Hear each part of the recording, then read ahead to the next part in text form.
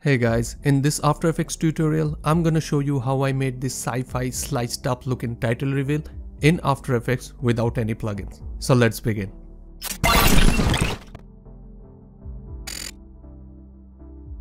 So in After Effects, I created a new comp with 1920 by 1080p, 24 fps, 5 seconds long and named it placeholder. This is the comp where we're gonna put our texts, logos or whatever we want to get affected by this effect. For this example, I created a text, sized it and centered it. After this, I created a new comp with same dimension and time and named it map. I created a white solid and renamed it box and added a block dissolve by going effect, transition, block dissolve. I animated the transition completion from 100 to 0, changed the block width to around 300 and the block height to 30, feather to 0 and uncheck soft edges. That gives us this look where these blocks are filling the composition randomly. But they're all at the same place. I wanted them to move from left to right while they were filling this comp. For that I added an offset effect by going effect distort, offset.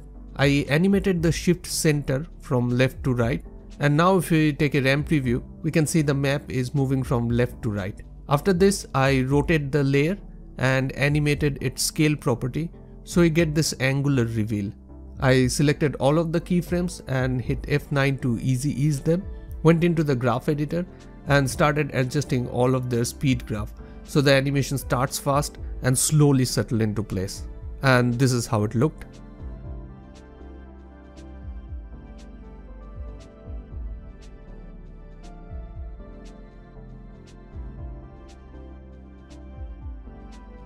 I created another new comp with same dimension and time and named it build.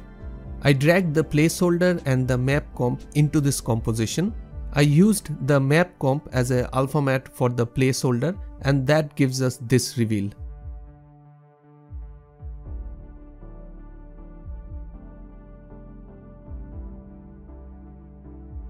After this I added an adjustment layer and renamed it displace and added the displacement map effect by going effect distort displacement map.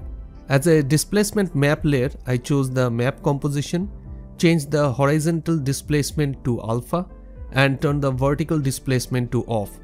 I animated the horizontal displacement from 100 to 0. After that I selected both of the keyframes and easy ease them by hitting F9 and adjusted the speed graph to make it look more dynamic.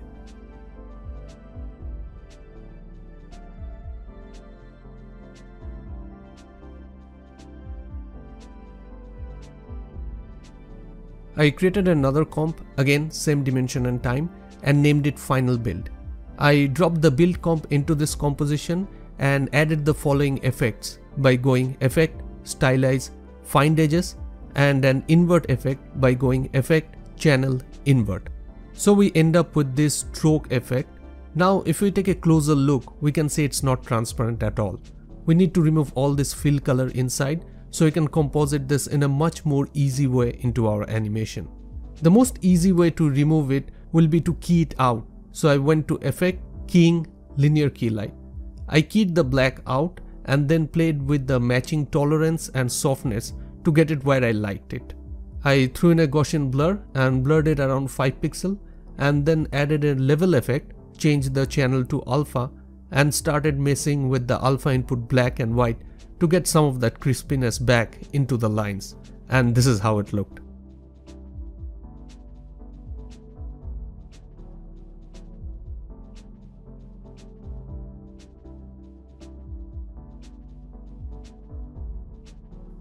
I also added an fill effect and change it to white.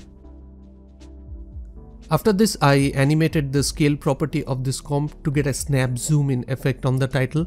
I renamed this comp build line. I duplicated this comp, deleted all the effects other than the fill and renamed it to build color. I changed the fill color on this comp and duplicated it couple more times and made sure to change the fill to a different one each time. Then I offsetted all of these fill layers in the timeline to get a nice cascading animation with the rest of the comp. Once I was happy with the animation, I selected the last three comps in the timeline and animated their opacity from 100 to 0. So in the end when they cascade, there aren't any edges poking out.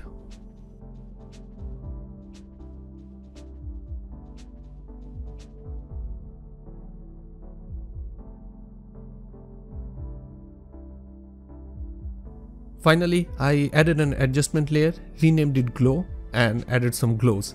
I adjusted the threshold, radius and intensity to get a nice soft bloomish glow overall and also threw in another adjustment layer with some noise, 10% to be exact to tie everything nicely. And that's it, that concludes this tutorial. So as you can see, it's a completely procedural effect. So if you go into the placeholder comp and change any of the text or logos, everything will be updated in the final composition. So from this point onward, it's all into your hand. So get that free project file in the description and start experimenting with different looks and effect to truly customize this to your need. If you like this tutorial, check this playlist to see more title animation like this. Make sure to give this video a like and share your thoughts down in the comments and do subscribe for more motion graphics tutorial. Take care of yourself and I'm gonna see you in the next one. Bye guys.